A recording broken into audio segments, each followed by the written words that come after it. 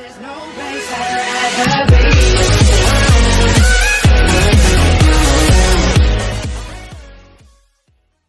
guys, welcome back to Talking Blues. Welcome back to another video. We hope you're all doing well today. We're your hosts, Ben and Mark. Before we get into this video, please make sure you like, comment, subscribe, turn the notification bell on, and also do not forget to share this video with your friends, your family, your your uncle, your auntie, whoever you've got, share it because we are get we are trying to build the Talking Blues army and the Chelsea fan army and this is going to be massive. We are massive. We are going to be massive. So let's try and build this the Talking Blues army and the Chelsea fan army, guys. Share it out as much as you can. It really helps us out. We really appreciate all the love and support you give us on a daily basis.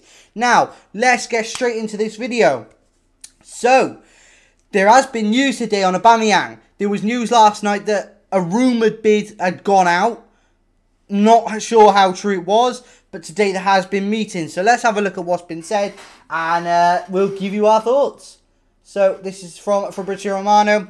Pierre Pierre Aubameyang deal meeting in next hour's schedule since last Sunday. Main focus will be on the personal terms. Length of contract and salary will be discussed today with Chelsea.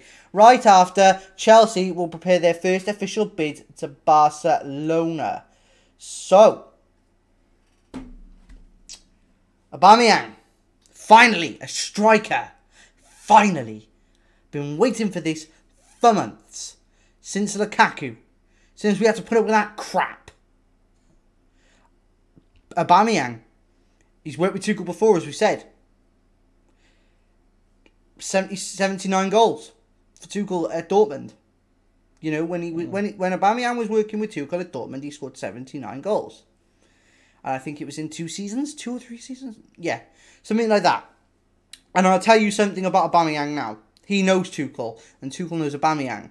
That style, that that fast, fluid football that Aubameyang likes to play, alongside Tuchel, it's a match made in heaven. It's a match made in heaven for that, for for Aubameyang and for Tuchel, and for Chelsea. Dad, you, give your thoughts because Aubameyang is exciting. You know, he's quick. He's he's full of energy. You know, he's a good player. Your mm. thoughts?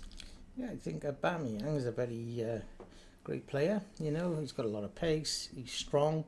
Um, he's a superb goal scorer. You know, his record at um, Barcelona and his record, you know, in Dortmund, you know, they they speak volumes.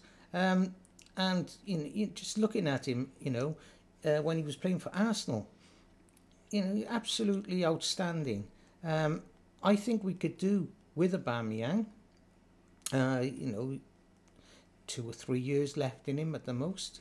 Um, but we do need as well a permanent striker.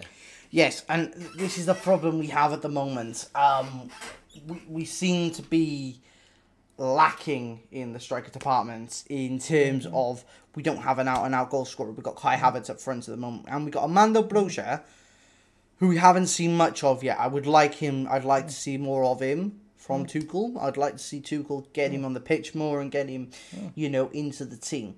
But we mm. need a striker who is ready here and now. We don't need someone who is ready in three years' time or a year's time. We need someone now, right this minute, right this second, at, at the pre- in the Premier League where we are fighting right now for points. We need it. we need a striker that's ready now. This, this is the problem.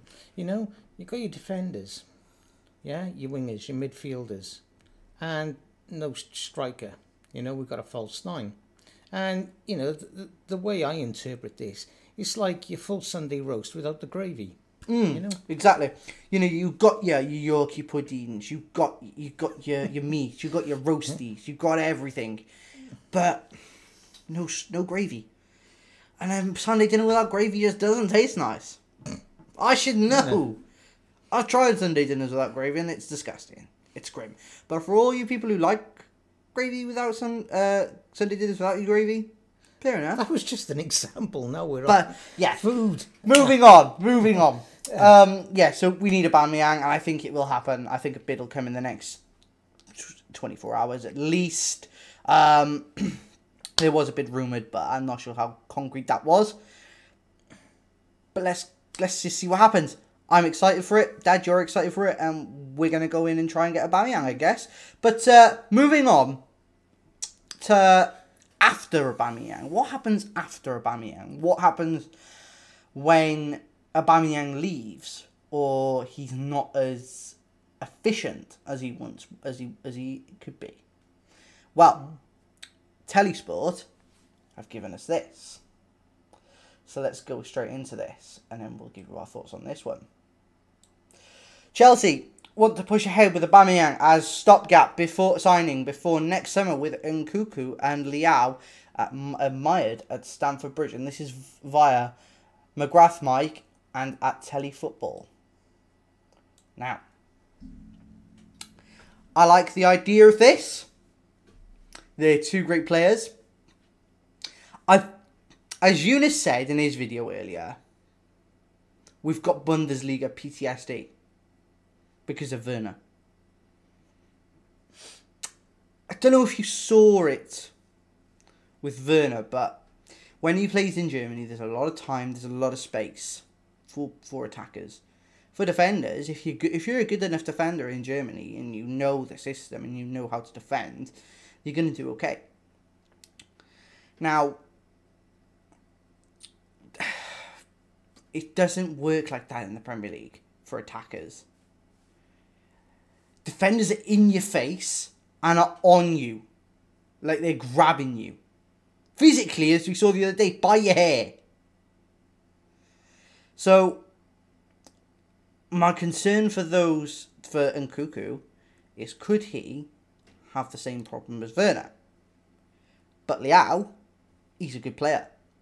A very good player but we'll we'll consider that later of the time. Dad, your thoughts on Nkunku and Leao? Yeah, two exceptionally uh, good young players there. Um, but coming back to what you were saying, you know, um, using in reference uh, Werner. Uh, yeah, over in the Bundesliga, La Liga, etc., they are given space, Mm. yes. Um, and our league, as I've said previously, is the hardest league in the world. Yeah. Um, it's a full contact game. Um, and that's all over the board or all over the pitch.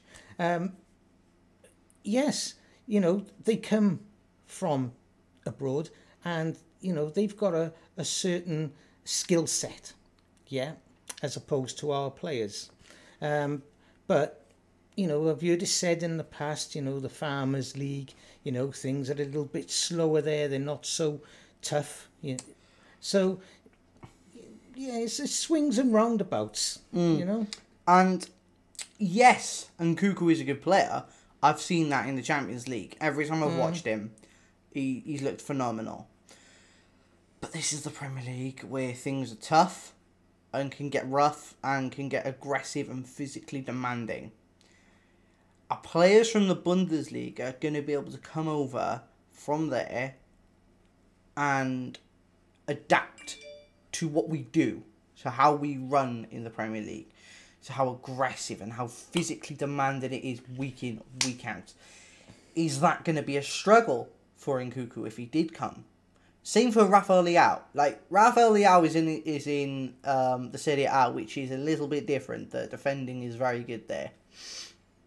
But would would they, would they both find it difficult to adapt, like Werner did? That's my one concern, and all depending on how we do, on how they do. I don't know. I, I I like the idea of them. I think they're good players, but can they adapt to the Premier League quickly? That would be my issue.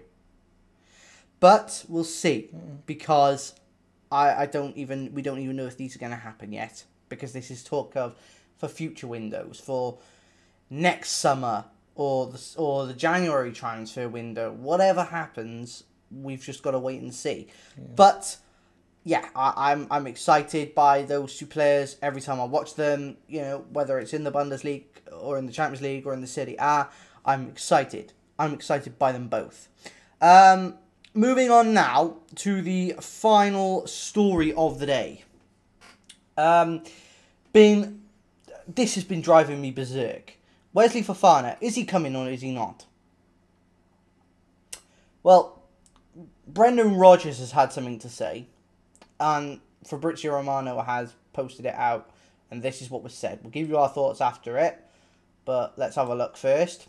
Wesley Fofana has not submitted a transfer request, Brendan Rodgers added. Leicester are fighting to keep Wesley, while Chelsea are still on it. Personal terms are agreed between Fofana and Chelsea on a six year deal. Now, I'm sick of this merry- merry-go-round. Either get it done or don't. I know it's a bit, it's a massive amount of money, but my view is just get it done because I'm sick to death of it. Fofana is a world class defender or a future world class defender, and I think he would fit. So get it done. For my sake, for other Chelsea fans' sake, for the Premier League's sake, get it done. Get it over the line. Get it sorted. Get Fofana in that Chelsea shirt, and let's roll. Because I'm sick to death of it. Because this has been going on. This has been lingering for weeks. Since after Koundé, this has been going on. But we'll see.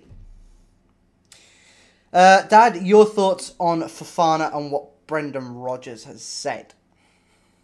Uh, yeah, again, I think these are a lot of um, mind games tactics. Um, you know, obviously there's finance involved in it. Um, it's, it's a bit like a cliffhanger, you know, um, keeping you in suspense. And basically, it, it's you know, it's like a yo-yo, up and down, up and down. Shall I stay or shall I go? You know, um, uh, you know, will think this- happen? Well, if it if it happens, it happens. If it doesn't, it doesn't.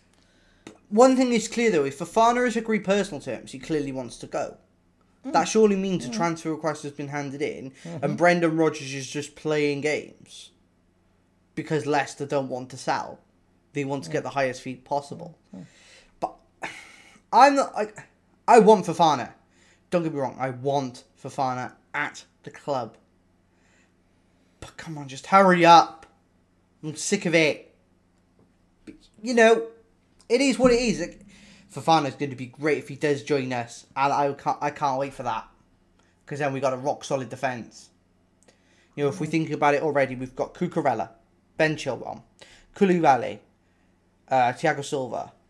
We've got Trevor Chalobah, Azpilicueta. We've got Reece James. To add Fofana to that, You know, this could come in right at the last minute. yes, it could. But uh, I but I'm just sick of the dilly dallying. It's like we're treading on eggshells. Just put your bid in, get it done, get out of there. But Exactly. sorry, guys, my phone is going off again.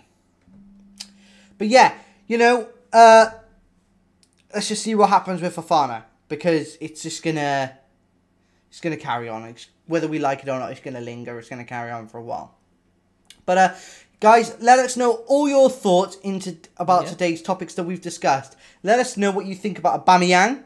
Let us know what you think about the future signings of Christopher Nkunku and Rafael Leao.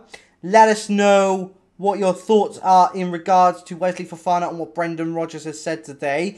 And before we end this video, please make sure you like, comment, subscribe, turn the notification bell icon on to be notified when we upload. Do not forget to share this video and share it to your friends, your family, your uncle, your auntie, whoever. You know, get them to watch this video because we are trying to build the Talking Blues army, the Chelsea fan army. We want to be the biggest army of Chelsea fans in the world. We want to build an army of us. We want to see a community built on this channel. So make sure you share this video out with all your friends and your family. And uh, yeah, guys, this is the end of the video now. Please take care and we will see you guys in the next video. Bye, guys.